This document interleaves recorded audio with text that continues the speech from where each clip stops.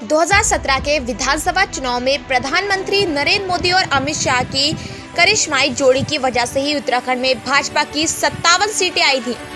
प्रधानमंत्री नरेंद्र मोदी ने जहाँ उत्तराखंड की जनता से डबल इंजन सरकार चुनने की अपील की थी तो वहीं गृह मंत्री अमित शाह उस समय भाजपा के राष्ट्रीय अध्यक्ष के तौर पर उत्तराखंड में चुनावी रणनीति को अमली जामा पहनाने का काम कर रहे थे। जिसका असर यह हुआ, उत्तराखंड में भाजपा में ऐतिहासिक जीत दर्ज कर सरकार बनाई। लेकिन ठीक पाँच साल बाद भाजपा के लिए सत्ता में वापसी करना किसी बड़ी चुनौती से कम नहीं है।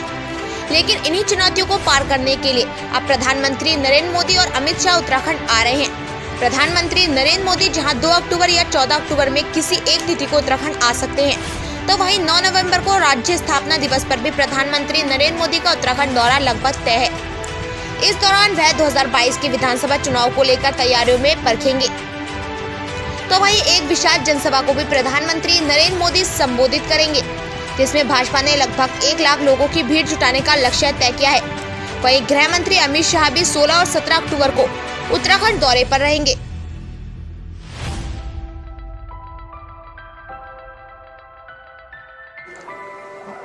माननीय गृह मंत्री और माननीय प्रधानमंत्री जी के अगले दो महीनों में उत्तराखंड के कार्यक्रम है। व्यक्तिगत कार्यक्रमों के साथ साथ संगठन के कार्यक्रम उनके हैं और संगठन की विभिन्न प्रकार की बैठकें प्रदेश स्तर की, जिला स्तर की और आगामी जो चुनाव हैं उनके मद्देनज़र जो आवश्यक बैठकें हैं, वो सभी बैठकें उनके द्वारा ली जाएँगी।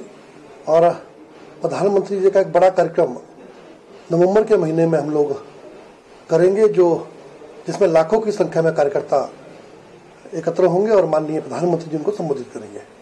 क्या माना जाए कि नौ हाँ निश्चित रूप से नौ नवंबर पार्टी का उसका प्रदेश का स्थापना दिवस है और उत्तराखंड नौ नवंबर को उत्तराखंड का उदय हुआ है।